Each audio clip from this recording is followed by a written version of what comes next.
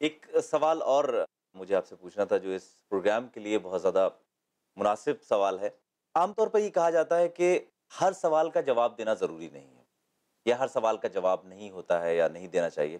آپ کی کیا رائے ہے اس بارے میں کہ ہر سوال کا جواب دینا چاہیے یا نہیں دینا چاہیے؟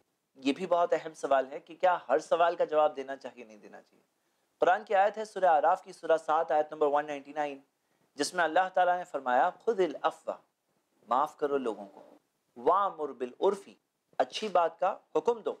وعارض عن الجاہلین اور جاہلیت کی کوئی بات آئے اگنورنس کی کوئی بات آئے، وہاں سے اعراض کرو۔ اسٹے اوے فرام اٹ اور سورہ فرقان کی آیت ہے، سورہ 25 آیت نمبر 63 جہاں اللہ کے اچھے بندوں کے بارے میں ڈسکرپشن ملا ہے۔ تو اس میں ایک کوالٹی ان کی یہ بھی ہے کہ وَإِذَا خَاطَبَهُمُ الْجَاهِلُونَ قَالُوا سَلَامًا۔ جب کوئی ان سے جاہلیت کی بات کرتا ہے، جب جاہل ان سے کوئی اگنورنس کی بات کرتے ہیں، وہ کہتے ہیں، السلام علیکم. تو یہاں پر بہت امپورٹنٹ ہے کہ ہمیں ساری چیزوں کو نہیں جواب دینے کی کوشش کرنا چاہیے، جو سینسیبل کوشچنز ہیں، کبھی کوئی فولش بات ہوتی ہے اسے اگنور بھی کرنا چاہیے۔ جیسے مثال کے طور پر سورہ شعرا میں، سورہ 26 میں آتا ہے کہ موسیٰ علیہ السلام جب فرعون کے سامنے تھے، فرعون نے کہا کہ یہ جو رسول بھیجا گیا ہے، لمجنون، یہ تو پاگل ہے۔ تو موسیٰ علیہ السلام نے وہ بات کو ٹوٹلی اگنور کر کے اپنی پازیٹیو میسج کو پاس آن کیا۔ ایک مثال میں دے سکتا ہوں، جیسے کہ اگر کوئی انسان راستے سے گزر رہا ہے اور کوئی پیچھے سے ہنس رہا ہے، اب اگر اس کو پیچھے مڑ کر دیکھیں گے کہ کون ہنس رہا ہے تو اور انکریج ہو جائے گا۔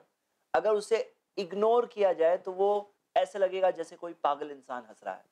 تو ہمیں چاہیے کہ سارے کے سارے کوشچنس بھی نہیں آنسر کرنا ہے، لیکن کئی بار ایسا ہوتا ہے اور یہ واضح غلطی ہے لوگوں کی جس کے اندر کبھی کبھار ایک انسان کو جواب نہیں پتا ہوتا ہے کوئی سوال کا۔ اس لیے سوال کا اور سوال کا جواب جواب دینے والے کو نہیں پتا ہوتا ہے۔ اور کیونکہ اسے نہیں پتا ہے تو وہ کہہ دیتا ہے کہ یہ بیوقوفی کا سوال ہے۔ یہ بھی بہت غلط بات ہے۔ ہمیں دونوں میں فرق کرنا ہوگا کہ کون سا ایک انٹیلیجنٹ کوشچن ہے کون سا وہ کوشچن ہے جس کے اندر اگر ہمیں جواب نہیں پتا ہے تو جاننے والوں سے ہمیں ریفر کرنا چاہیے۔